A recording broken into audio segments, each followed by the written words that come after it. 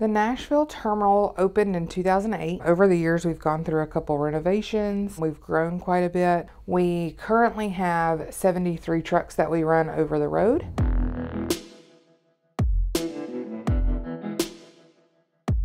Our culture here in Nashville is home. That's the only way I know how to describe it. We try to make everybody feel welcome when you walk into the building. We've heard horror stories from drivers from where they walk into a facility and they feel like a stranger or they feel like they're in, in jail. They can't sit down and talk to their driver manager. They can't talk to their terminal manager. Most of my day is spent with drivers at my desk. When they come to talk to me, it's not just about a problem. It's about their lives. It's about my life. They all know my kid. I know their kids. We know their families. So I started at Knight Transportation in uh, March of 2023, got my CDL a little bit earlier. They hired me on, went over the road for about eight months, decided I'd come off the road to try to spend a little bit more time with my family and luckily Knight's the kind of company that will accommodate that. I've been doing this type of work, either driving a truck or hiring people uh, in an office setting. I've been doing it now for, this will be my 24th year.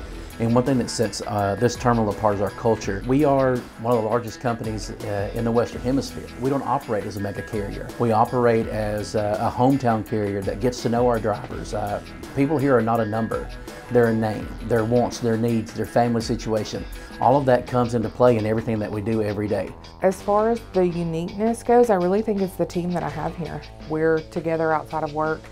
We're together at work it's a big family and our drivers are included. We have drivers that go to Preds games with us on the weekends and when you enjoy what you do every day, you enjoy who you work with every day, it makes it a lot easier to get the job done. Nashville's the reigning champion for the Halloween costume contest. The first year I worked here, we won. We did Orange is the New Black that year. We've done everything from Spice Girls to Space Jam. And so part of working here is you gotta be part of the Halloween costume. If you don't wanna be part of the Halloween costume, we have a problem. As adults and as leaders in the industry, sometimes that we forget that life is still fun. It needs to be fun. Work needs to be fun. Nobody wants to come to work and be miserable every day. Driving a truck is a lot and it makes my drivers smile when they come in and they get a Christmas card with everybody in matching pajamas or a Top Gun facilitator in a onesie. We're grown, but we don't have to be sad and sour all the time. So I hit my 10 year anniversary. I started here in 2014. It's been a wild ride. I started as a recruiter. I did that for a couple years. I went into DDM and safety for a couple years. And then in 2021, I took over the terminal. Knight from day one has displayed a culture that I believe in. You treat people how they deserve to be treated regardless of job title or position. I was given an opportunity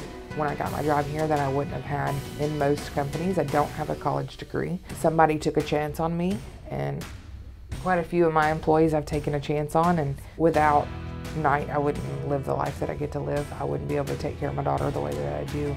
This is my home and I love the people that I work with from here to Phoenix to Texas to all over and it says a lot when the culture that I feel in my building is what you feel even when you pick up the phone and call another building because it's about the quality of people that we hire to work for us. But it's never really why do I work here because I know why I work here. It's just home.